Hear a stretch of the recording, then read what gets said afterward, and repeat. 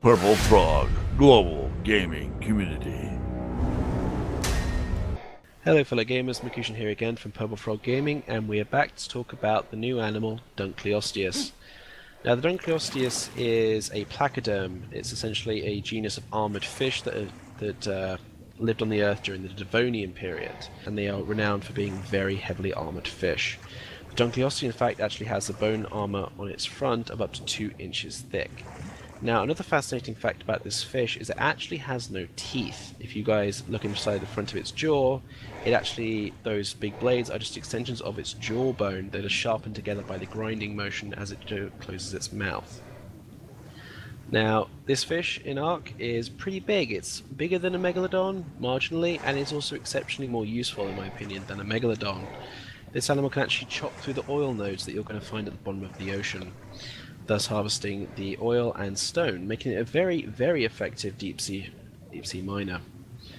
Now, that being said, it is also very good at tanking. This fish is unbelievably good at taking punishment due to that thick armor up front.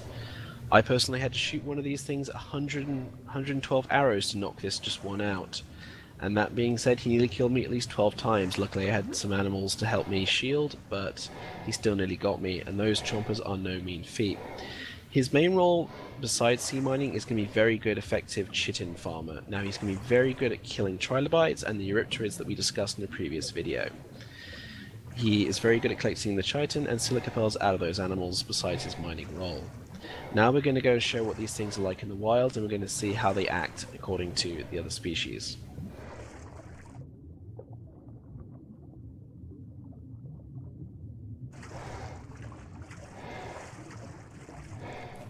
Now surprisingly for this animal, it is actually remarkably passive. Most of us are used to the deep sea animals being incredibly mean to us. They will pick on you, attack you instantly. Unlike the unlike them, the Dunkleosteus is actually a remarkably friendly animal. It will not go after you, and it more or less is content with all things to do. It'll just sit in the water column and passively hang around, no problem whatsoever. Looks like we got one here, here one right now.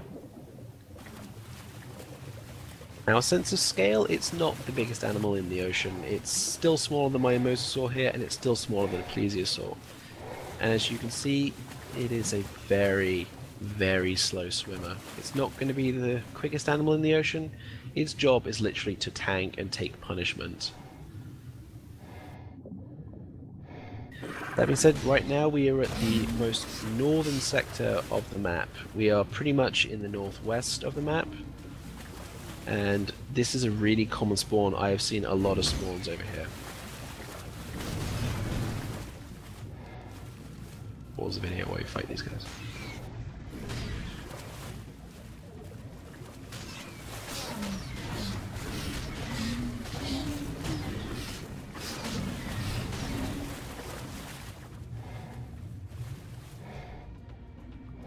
Alright. I know I had to, was going up to shame. So, as you saw there, this mosasaur, which I must admit is a very strong animal, actually took a lot more bites to take that thing out than anything we've seen.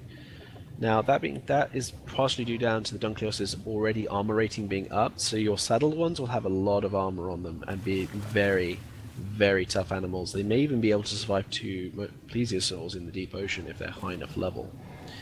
Now, we're in the northwest quadrant. It's a very common spawn for them. There are also spawns in the south, so you should definitely spot this animal just swimming in the open water. It's very slow, has no problem with people, so you should be able to just go right past it. It should not do anything to you. It's a very friendly animal. That being said, if you do piss one off, a good idea is not is to just stay inside its turning radius. It has a very, very poor turning radius, so you can pretty much kite it just by staying inside that. And if you want to tame it, do that while shooting it, and you'll get one fairly easily. This has been Makushin signing off. Have a great day, everyone.